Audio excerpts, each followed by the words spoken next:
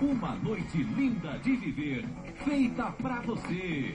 Profissão Perigo. A jornalista Mônica Puca e seu cinegrafista falam como funciona o trabalho da imprensa em situações de risco. O tiro acabou de explodir. E ainda, muita música com Victor e Léo. Nosso amor.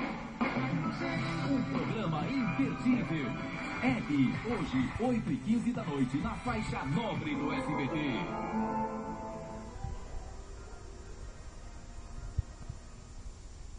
Hoje, a jornalista Mônica Puga e seu cinegrafista falam como funciona o trabalho da imprensa em situações de risco. O tiro acabou de explodir. Hebe, hoje, 8 e 15 da noite, na faixa nobre do SBT.